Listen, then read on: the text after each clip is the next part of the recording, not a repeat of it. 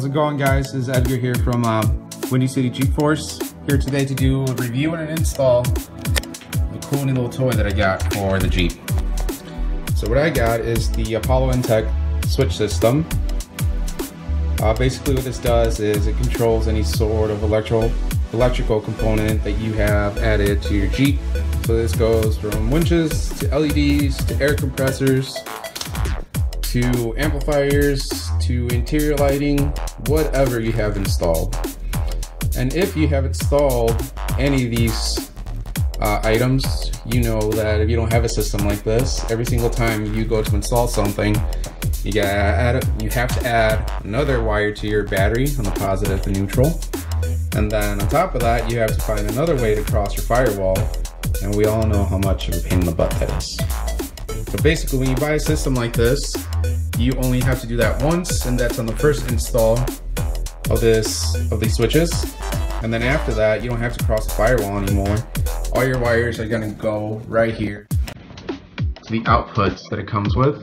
So it has all the fuses, of course, to protect everything, make sure nothing catches on fire, anything burns up, anything goes wrong, those fuses are gonna go out. And then we have a relays, and that's the outputs of everything that you're going to be hooking up to. And of course, your positive and negative that are going to go to the battery. Um, one thing that I noticed when I first got this out of the box is everything is steel. There's no plastic. This is all going to be covered up. Uh, it takes one screw to get the cover off of this. Once you get the cover off, see, here's the cover, and again, all steel. Uh, checked out all the connections, all the crimping.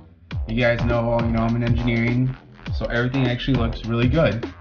There's nothing that looks like it's gonna fall off anytime soon. The quality of it is just for the price. It's just, it's there. It's, it's unbeatable. Here's the back of the display here that's gonna be inside the Jeep. So again, everything, I'm pretty happy with it.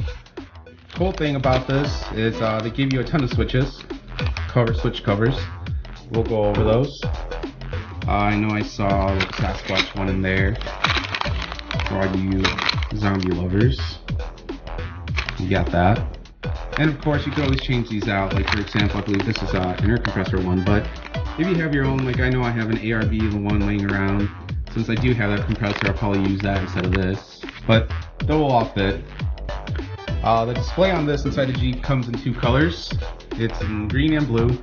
I got the green LEDs just because that's my theme that I have going. No other reason. And here are the instructions that it comes with. The instructions are really detailed. They tell you, you know, all the tools that you're gonna need and pictures with everything. And here's our contact information. Uh, the owner of this company, he goes by Victor. He usually answers emails very quickly. Anytime I email him with questions or concerns, he gets back to me right away. Uh, usually tends to answer more towards the end of the night. I read some of the reviews on Amazon, and overall he has very good reviews. Um, the only thing is that a few people said that they're a little bit concerned about getting in touch with him. But I mean, again, here's his contact information. And I guess they're just a little concerned because this is a, an item exclusive to Amazon. You're not going to find these on any of the Jeep pages. You're not going to find this anywhere unless it's used, of course. But this is only sold on Amazon. Another really cool thing, we all know how expensive this hobby gets. So, I got the side up over here. Check out the price. Compared to all the other brands that we all know and that I will not mention but this is the pricing for the whole control system. And again for what you get it is very well worth it. And here's another competitor's item and that's their price. But anywho we're here to talk about this system. So now that I got it out of the box I'm gonna go ahead and try and install it. The instructions seem pretty straightforward. As I said they got pictures for everything.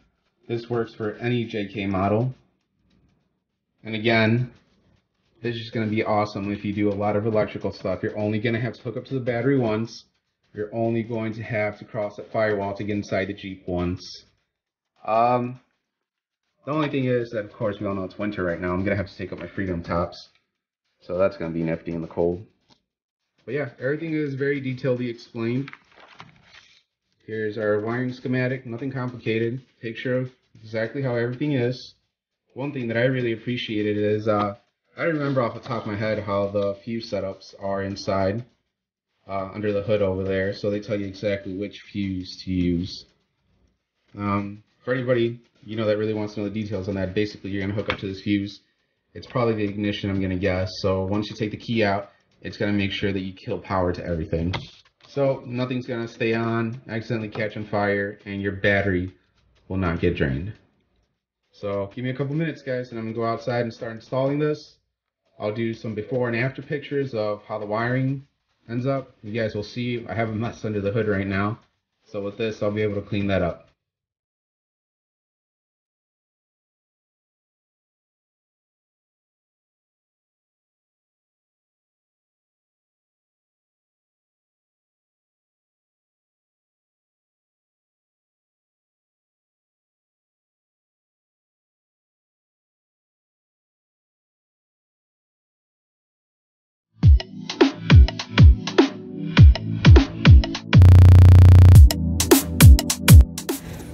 Alright guys, so here we are now with the JK. First part of the instructions, it says, unscrew the screws with the socket wrench from the ECU board.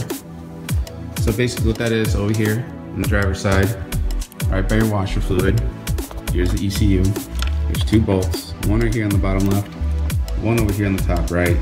We're gonna need an 8 millimeter socket, and we're gonna back those out just a little bit. You don't even have to take them out all the way the bracket, the bracket actually has a slot. It's not just a hole drilled out, it's a slot. So we're just gonna slide that in there. All right, so after I took the plastic pieces off, like I had to yank them back. I ran the wire to the top over here, and there you go. Finally got it mounted on.